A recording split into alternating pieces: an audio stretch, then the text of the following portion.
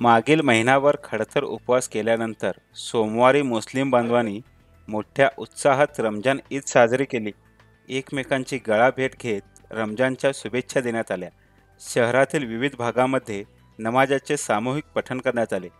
सकाळी उंची अत्तर नवीन कपडे घालून नमाज पढण्यासाठी मुस्लिम बांधवांनी गर्दी केली होती. जगाला शांततेचा संदेश देणारा हा सण मुस्लिम बांधवांबरोबरच इतर धार्मियांनीही उत्साहात साजरा केला. रविवारी सायंकाळी चंद्रदर्शनानंतर सर्व मशिदी व प्रार्थना स्थळामधून सोमवारी ईद साजरी करण्याचे फरमान निघाले आणि ईदच्या तयारीने एकच वेग घेतला होता. रविवारी मध्यरात्रीपर्यंत ईदसाठीची तयारी करण्यात आली. महिला वर्ग मेहंदी काढून ईदच्या पार्श्वभूमीवर सज्ज होत होता. यानिमित्त रविवारी रात्रभर शहरातील बाजारपेठा सुरू होत्या.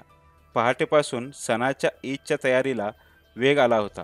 घरची साफसफाई करून व स्वतः मुस्लिम बांधवां सामुदायिक नमाजसाठी बाहेर पडत होते.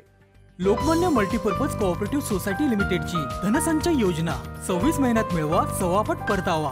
Toll free number one eight double zero two one two four zero five zero. सकाळी नऊपर्यंत विविध ठिकाणच्या सामुदायिक नमाज पठणाच्या ठिकाणावर मुस्लिम बांधव दाखल होऊ लागले होते. शहरातील ईदगाह मैदानावर प्रतिवर्षाप्रमाणे यावर्षीही सामूहिक नमाज पठण करण्यात आले. शहरातील अधिकतर लोक या ठिकाणी येऊन नमाज पठण करत असतात. सोमवारी सकाळी नऊच्या सुमारास पहिल्या नमाजाचे पठण करण्यात आले. त्यामुळे हा परिसर भक्तिभावाने गजबजून गेला होता. मैदानाच्या बाहेर हिंदू बांधवसुद्धा मुस्लिम बांधवांना शुभेच्छा देण्यासाठी एकत्र आले होते. एकूण चार जमातींनी नमाज पठण केली. माझं नाव शेख मोहम्मद रफिक आहे. आणि रमजान म्हणजे आपला उपवास महिना. त्याच्यात तीस उपवास असतात आणि पाच वाजची नमाज असते सगळे लोक उपवास होतात आणि नमाज हे करतात. म्हणजे एक मुबारक महिना आहे. आणि या महिन्यामध्ये लोक दान करतात आणि लोकांना म्हणजे हेल्प करतात. आणि शेवटी तीस उपवास झाल्यानंतर ह्या ईदगामध्ये येऊन लोक नमाज पडतात आणि प्रार्थना करतात. आणि सगळ्यांसाठी अमनसाठी शांतीसाठी प्रार्थना करतात. तर ह्याचा एक उद्देश एकच आहे की बाई सगळे मिळून राहावं एक राहावं आणि एकामेका म्हणजे समून राहावं त्याचा उद्देश आहे. आजचं ईदचं महत्त्व काय आहे? ईदचं महत्त्व म्हणजे आपलं हे तीस आमचे जे एकोणतीस उपवास झाले ना त्याच्या शेवटी काय असतं हे आपला एक काय म्हणतात इनाम म्हणा म्हणा किंवा एक एक हे असतं किंवा फायनल डे होणार तर त्याच्यात हे सणच हे झालं म्हणजे आम्ही मोकळं झालो. म्हणजे उपवास झाले आणि सण झाले म्हणजे हे. बरं. तुम्हाला अहो, महिनाभराचा जो रोजा करता तुम्ही उपवास करता हो. त्याच्यातून तुम्हाला काय सद्भावना मिळते? सद्भावना म्हणजे काय माहिती काय जे गोरगरीब आहेत त्यांच्याकडे लक्ष जातो आहे म्हणजे माणूस उपवास उपवास ठेवला म्हणजे माणसाला पाणी प्यायला नसतो आहे जेवण करायला नसतो आहे ते जे काय लोक गरीब लोक आहेत ते त्यांना काही मिळत नाही खायला प्यायला वगैरे. तर त्यांचं आम्हाला एक हे होतं आहे बाबा. त्यांचं दुःख तुम्हाला दुःख आम्हाला कळतं आहे ते त्याप्रमाणे आम्ही त्यांना हेल्प करावं त्यांना मदत करावं त्यांना आपल्याबरोबर घेऊन जावं हे याचा उद्देश आहे. आणि ईद म्हणजे काय? सगळे खुशी मनवायचं तुम्ही बेळगावच्या लोकांना काय संदेश द्याल? काय नाही एकच सगळे मिळून राहावं एकत्र राहावं प्रेमान राहावं. आणि बाकी सगळं काय असेल ते सगळं बा बाजूला ठेवून थोडं एकत्र राहावं हे त्याच्यात त्याच्यात सगळं आमची उन्नती आहे. माणुसकीचा एकच माणूस जे उन्नती आहे. हे आपला उद्देश.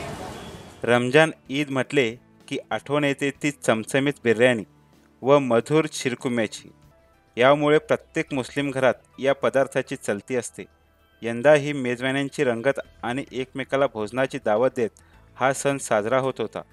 प्रतिवर्षाप्रमाणे यावर्षीही सोशल मीडियावर ईदच्या शुभेच्छांची खैरात करण्यात येत होते.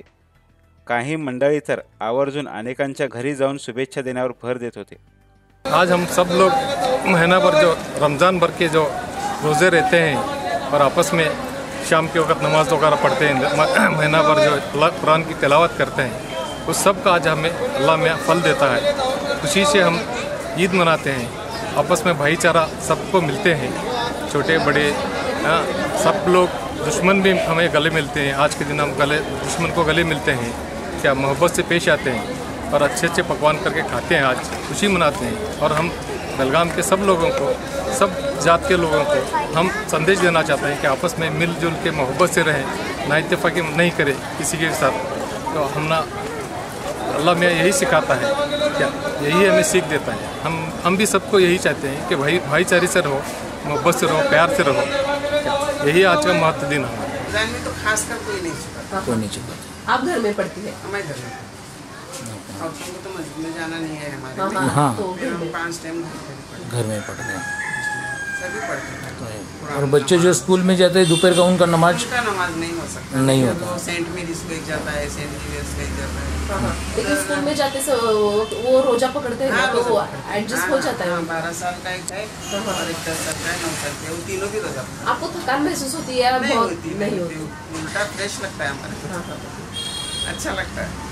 ऐसा लगता है कि और करना लेकिन खत्म हो जाती है ना तो मंथ में जो तुम्हारा जो कुरान रहता है हाँ। जो पूरा मंथ में पूरा कुरान पढ़ के होता है क्या हाँ, हो जाता है। एक लोगों का तो दो दो तीन तीन हो जाता है पूरा। कुरान आपका हो गया है मेरा हो गया हो मेरा हो गया परसों ही हो गया खत्म हो गया। अभी और पढ़ना बोले तो जरा आंखों की तकलीफ है हाँ। इसकी वजह से ईदगाह मैदान येथे सकाळी नमाज पठणासाठी गर्दी झाली होती नमाज पठण करून खैरात वाटणे तसेच शुभेच्छा आणि लहान मुलांना खेळणी घेण्यासाठी जिल्हाधिकारी कंपाऊंड परिसरात एकच गर्दी दिसून येत होती. यामुळे जणू यात्रेचेच स्वरूप आले होते. खेळणी फुगे विविध वस्तूंनी हा परिसर फुरून गेला होता.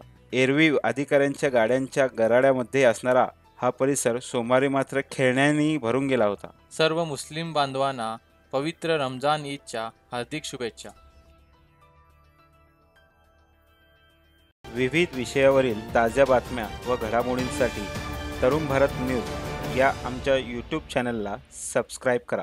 धन्यवाद. Bagicha multi cuisine family restaurant near Lokmanya Bhavan Ramghat road Ganeshpur बलगाव we have tulip spacious hall for families and Bagicha garden restaurant our signature dishes are veg dragon soup tandoori platter Akbari kabab KP K methi chaman murgh musallam triple sylvan fried rice baby kingfish tandoori and तमका kabab We also take catering orders for all functions like marriages, birthday parties, and reception.